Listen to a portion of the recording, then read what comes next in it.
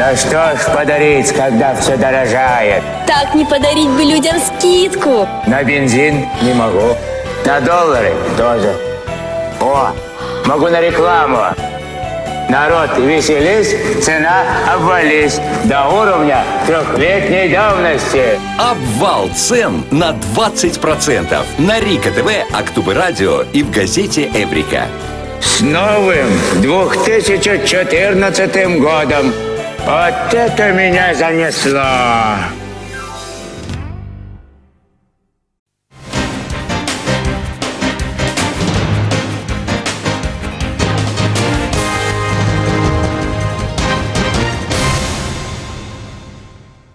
ассалаумағалейкум эфирде тәуліктің түнгі жаңалықтары сіздермен бірге азамат әбілқайыр Қазақстан үкіметі Қырғызстанға гуманитарлық көмек беру туралы 2017 жылы 9 қазанда қабылданған қаулының күшін жойды. Бұл туралы қастақ хабарлайды. Былтыр Қазақстан көрші елде қалыптасқан табиғи климаттық жағдайларға байланысты гуманитарлық көмек көрсету туралы шешім қабылдаған болатын. Дізімге тақтайлар, темір және ағаш бағаналар енгізілген. Алайда Қырғызстанның төтенше жағдайлар министрлігі Қазақстан тарапынан көмек алу қажеттілігі жоқ екенін мәлім етті қақтығыс аймақтарынан оралған 57 қазақстандық лаңкестік үшін сотталды. Бұл туралы 2018-2020 жылдарға арналған діни экстремизм мен лаңкестікке қарсы іс-қимыл бағдарламасында көрсетілген. Ұлттық қауіпсіздік комитеті 5 жылда экстремистердің санын екесеге дейін азайтуды жоспарлап отыр. Лаңкестікке қарсы мемлекетті бағдарламаны жүзеге асыруға 286 миллиард теңге бөлінбек.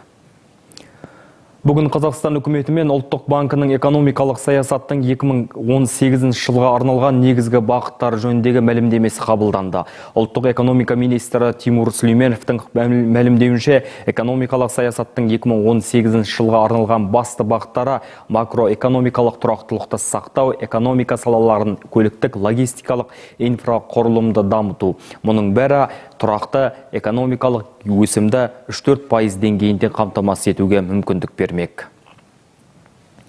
Үш фармацевтикалық компания дәрі дәрмек пен медициналық бұйымдарды тасымалдау және сақтау қызметін көрсету нарығында ымыраласқан үшін жазаланды.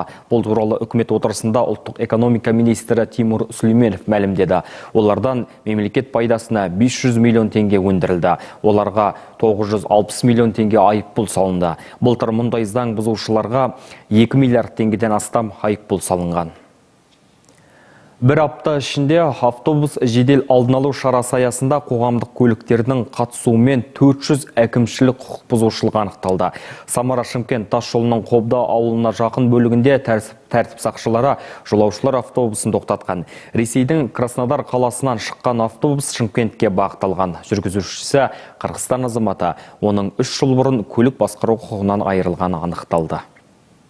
Осы өткізілген жеті күннің ішінде жедел арнайы шаралардың 400-ге жуық қоғамдық көлік жүргізушілері әкімшілік жазаға тартылып отыр.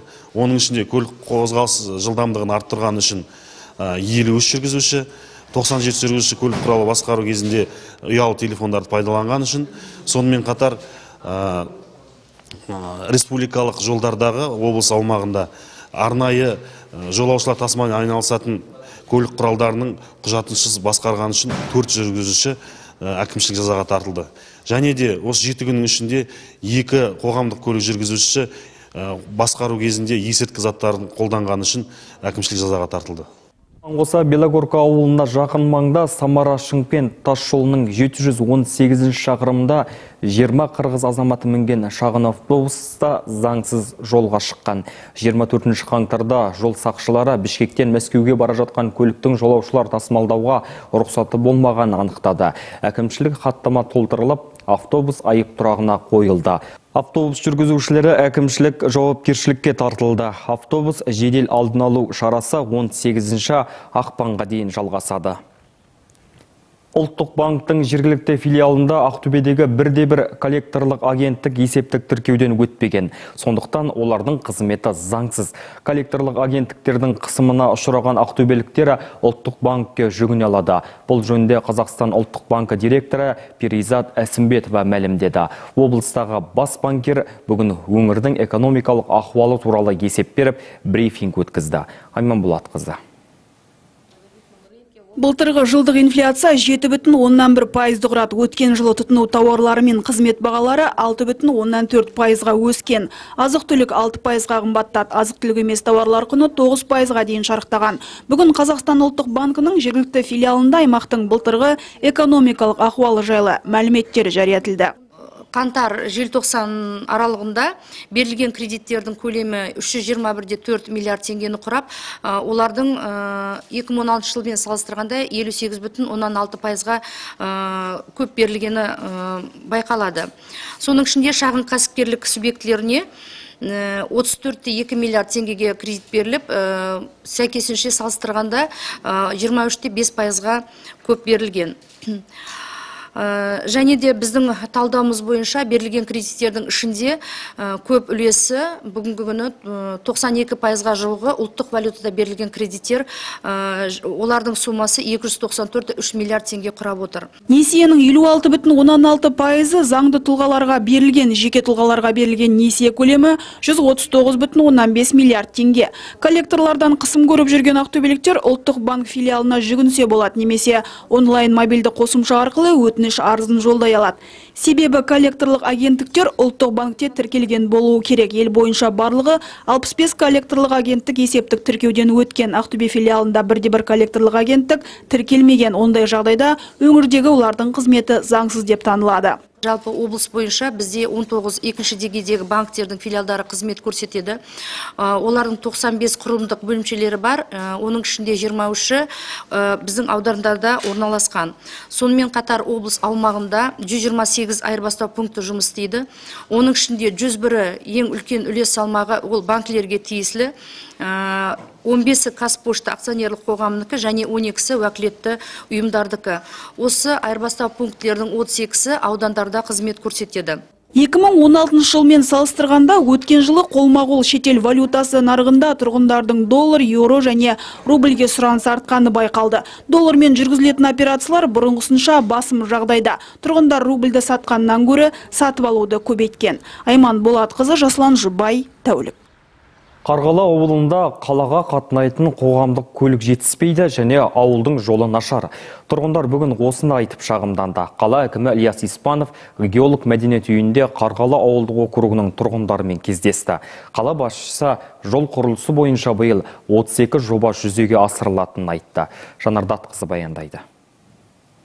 Қарғалы ауылдық округі қала іргесіндегі жылдам өсіп келе жатқан аумақ. Қазірдің өзінде мұнда 23 мыңға жуық адам бар. Тұрғын үй құрылысы да осы ауданда қарқынды дамыған. Былтыр 619 бүтін оннан үш мың шаршы метр тұрғын үй пайдалануға берілген. Нұрақтөбе ауданының өзінде 6 көп қабатты тұрғын үй, 20 аз қабатты және 124 екі қабатты үй тапсырылды. Барлығы 2248 адам қоныс тойын тойлады. Биыл да 4 мыңға жуық пәтер қолданысқа берілуі тиіс. көп болмағанмен бірақ жаңадан салып жатқан ауылдарда ол ә, кезек күттірмес мәселе екені бәрімізге белгілі. Ә, және де қазір мынау жеке тұрғын үй салу үшін жер учаскесін сұрайды.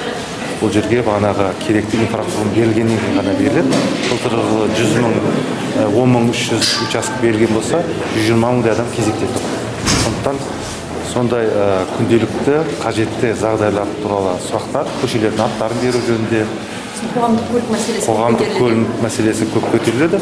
Оған бірқатар шешімдеріміз бар. Мысалға қазіргі брк лизинг арқылы алып жатқан автобустарымыз сол жетпей жатқан көліктерді мына ескі көліктерді жаңартуға мүмкіндігін береді. Қарғалы округінде бала саны 4 мыңнан асады. Мұнда әлі үш ауысымды білім беру мәселесі шешілген жоқ. Мәселен, нөмірі 53 орта мектепте балалар үш мезгіл оқиды. Тұрғындарды толғандыратын мәселелердің ішінде мектеп пен балабақшаның аздығы да бар. мына коммунальный услугалар көбейіп кетті соның ішінде атап айтқанда газ ауылдан ауылда ә, ақтөбе облысынан жаңа жолдан кеңгияқтан шығып жатқан газ далаға шығарып жатқан сол кеңгияқта ә, бір работка жасайды осында келгенде 10 10 теңгеден сатады әрбір кубометрін. Так ол өте үлкен. Ал қазмұнайгаз үш үш миллиард теңгесін ә, долларын қалаға басқа жаққа ұстайды басқа шетелдегі ұстайды. Сонда ол біз ақшаны сол шетелге жинастырып жатырмыз ба неге соншама қымбат неге антимонопольный комитет қарамайды? елу үшінші школ тар балдарға үш маусымда оқиды. Ол қиын болып тұр екен. Мына аяздарда маусым кішкентай балдар жай шығады сол сол жағдайды. Мирзаян көшесін алмастыру керек еді. Биыл мінекей соны өзгертті әлихан бөкейхановқа берді тарихтан белгілі енді оның енді қаншама қазаққа ке- кесапат әкелгендер кеше отыз жетінші жылы қырғын әкелген. Сол көшедегі тұрған белгіні алып тастау. Астанада алып тасталды алматыда алып тасталды бізде ақтөбеде не себепті екені сол тұр мінекей Қарғалы ауылында жаңа мектеп салынады. Жобалық сметалық құжаттары дайын. Биыл ауылда алты көшеге қиыршық тас төселмек. Ол үшін жергілікті бюджеттен 131,5 миллион теңге бөлінді. Қаныш Сәтпаев пен Бейбітшілік көшелеріндегі қос көпірге күрделі жөндеу жүргізіліп жатыр. бұл жерде екі мектеп бар екеуі де көне халық саны өсті жаңа мөлтек аудандар қосылып жатыр үш ауысымды мектеп біреуі үш ауысымды мектеп. Ол жерге біз қосымша құрылыс салу үшін жоба жасадық. Енді ә, мына жергілікті бюджетті толықтандырылған кезде сол кезде біз ә, сол қосымша құрылыс салуға әрекет жасаймыз. Себебі оның қасында мына спорт школасы бар.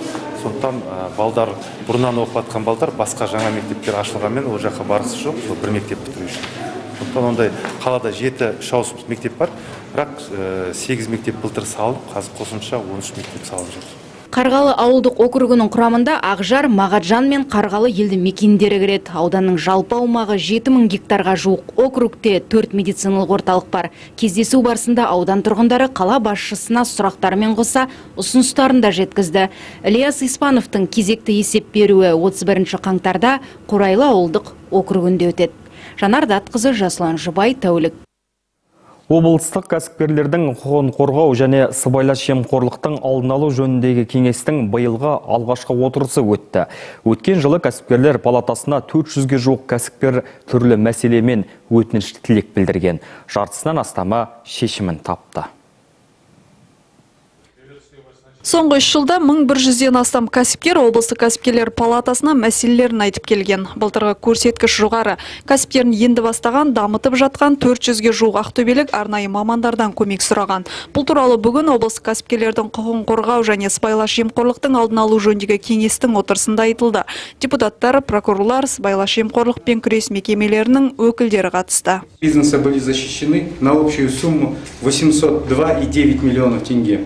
2017 жылы кәсіпкерлер палатасына құқықтарын қорғау жөнінде 369 кәсіпкер келді. Оның 184-нің мәселесі шешімін тапты. 30 бизнес субъектісінің жалпы құны 102 миллион теңгеден астам қаржыға мүлкі қорғалды. Кәсіпкерлердің құқығын қорғау жөніндегі кеңес 10 отырыс ұйымдастырды. Хромтау ауданына прокурорлармен бірге барды. Кәсіпкерлердің құқықтарын бұзылуына ықпал еткен 6 лауазымды тұлға жауапкершілікке тартылды.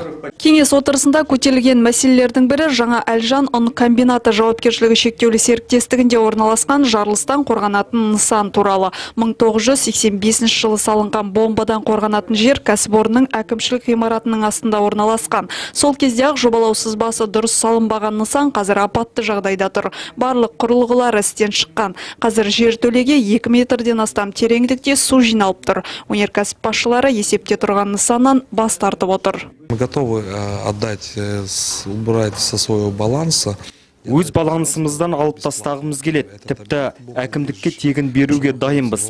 Себебі қазір апатты жағдайда тұр. Бизнес үшін мұндай нысанды ұстау үлкен шығын. Осы мәселе шешілсе дейміз. Бірнеше рет қалалық әкімдікке де, облыстық төтенше жағдайлар департаментіне де бардық. Олар рұқсат бермей отыр.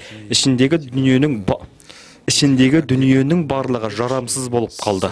Мәселе облыстық кәсіпкерлер палатасының бақылауына алынып, жан-жақты тексерілетін болады. Кәсіпкерлер палатасы былтыр 32 әкімшілік кедергіні анықтаған. Жартысы шешімін тауып жойылған. Қалған мәселе әлі қаралып жатыр. Әсел Салимова, Әлімжан Молдабеков, Тәулік. Чикалин көшесіндегі 36А үй құлағалы тұр. Екі қабатта барақтың тұрғындары бір күні үйдің төбесі ортасына түсіп, үйіндінің астында қаламыз ба деп үрейленеді.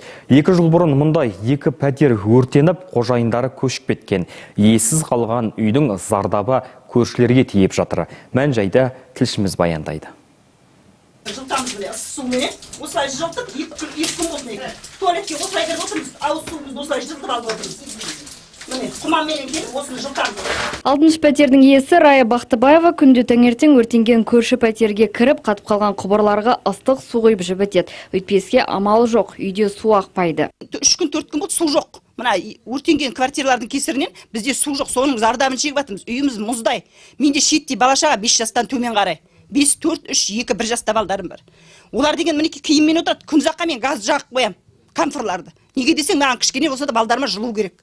Мен сол себептен газ жағып қоюға мәжбүрмін а ол иіс тиіп қырылып қалса кім жауапты болады? Ешкімнің ешқандай басы ауырып жатқан жоқ бізге ешкім келмейді. Ешкімнің шаруасы жоқ. Мына үйдегі мұз болып қатты тұр ертең көктемде бұл үй құлайды. Анадай мұздың кесірімен. Жаңа түсірдіңіздер ғой. Сол мұздың кесірі ертең оның бәрі мінекей. Соның зардабына менің үйім деген жүруге невозможно. Бұл үйде екі жыл бұрын бірінші және екінші қабатта орналасқан екі пәтер жанған. Қазір екеуі де қаңырап бос тұр. Иелері ақшамыз жоқ деп пәтерлерді жөндемей тастап кеткен. Ешкім тұрмаған соң қабырғалары салқын тартып төбесі түйіндеп тұр. Үйге шығыңыз ана төбе солқылдап ана мына үйдің мына. Иә. Келген қонаққа айтамыз жайлап басыңыз. Төбе құлап кетеді дейміз. Иә. Оған дейін жаздық если анау төбе құласа астағы үй бала я кәтебе өліп кетсе кім жауапты болады 1963 жылы салынған бұл үй екі жыл бұрын апатты деп танылған. Әкімдіктегілер былтыр көктемде тұрғындарға басқа пәтер береміз деп уәде еткен, алайда уәде орындалған жоқ. Ес Оспанов әкімет, қаланың әкіметіне біз личный соқтық май айында ма, ұмытпасам, 17 жылы. Вот әлі, әлі үй жоқ. Не береміз дейді олар? үй болады үй болады дейді. Үйді күттік күттік қай уақытта күтеміз мүмкін мен өліп қалғанда ана жақтан болады үй болады маған. Постоянный. А енді пока екі ай болсын ай болсын жететін надо үй апаттық жағдайдағы үй. Үйдің бәрі хабардар халықтың бәрі. Депутатта да болды қарекенова да. Ол да келіп өз акиматқа өзім қағаздарымды жібердім деп айтты. Әкімде бәленбай рет болдық. Мына исман кім? Ілияс. Испановтың өзінде екі рет мен өзім личный өзіміз екі рет болдым. Екеуінде де ол айтты міне екі үш этажды үйлер салынады апаттық жағдайдағы үйді қолға алып жатырмыз. Сізге осы жазда июнь июль әрі кеткенде августте үй беріледі деді. Ол міне өтіп кетті уже. Ешқандай ешкімнен хабар жоқ. Жазып жатсақ бәріне жазбаша түрде енді қазір кірудің өзі қиын. Жазбаша түрде жазсақ очередь бойынша аласыз дейді. Очередь бойынша алғанда міне суға кеткендерге беріп жатыр а біз обязательно өлуіміз керек па мына төбемізден деген мысалға төбенің бәрі түсіп тұр. Менің балдарым шиеттей бала шағамен отырмын осы үйде. Қашан өлетінімізді де білмейміз. Өлгеннен кейін үй не керек бізге мысалға. Қалалық тұрғын үй инспекциясының бас маманы ақнұр қазыбаева қазір бұл үйді қаладағы ірі құрылыс компанияларының біріне беру мәселесі қарастырылып жатыр деді. Құрылысшылар барақты бұзып тастап орнына көп қабатты жаңа үй салуы мүмкін. Бірақ ондағы пәтерлер бұл тұрғындарға тегін беріле ме жоқ па белгісіз. Бұл үйде сегіз пәтер бар. Егер тұрғын үй осы үйді бұзып жаңадан салынатын болса ол кезде ол либо кім құрылыс құрылыс компаниясы осы пәтерлерді сатып алады я болмаса жаңадан салынған үй бойын үйден пәтер беруді қарастырылады. Осының бәрі жалпы жиналыста талқыланады осы мәселелер. енді тегін тегін беріледі берілмейді мен нақты айта алмаймын. Осы жалпы жиналыста осы шешіледі. Жалпы жиналыс жақын уақытта өтуі керек. Онда құрылысшылар мен тұрғындар өз шарттарын айтады. Тараптар бір тоқтамға келсе, құрылыс басталады. Қалада апатты деп танылған 25 үй бар. Проблеманы жою үшін әкімдік былтыр желтоқсанда құлағалы тұрған үйлердің орнына жаңа үйлер салу бағдарламасын қабылдаған. Жоба мемлекеттік жеке серіктестік негізінде жүзеге асады. Әкімдік ескі үйлердің орнын құрылыс компаниясына тегін береді, есесіне апатты үйлердің иелері пәтерге қол жеткізеді. Бұл амалдың тиімділігі сол коммуникациялық желілерді тартудың қажет қажеті жоқ. Қазір қаладағы екі үйдің тұрғындарымен жиналыс өтіп олар құрылысшылардың шарттарымен келіскен. Гүлвира сейтенова әлімжан молдабеков тәулік. Тәуліктің түнгі жаңалықтары осымен тәмам. Аман сау болыңыздар.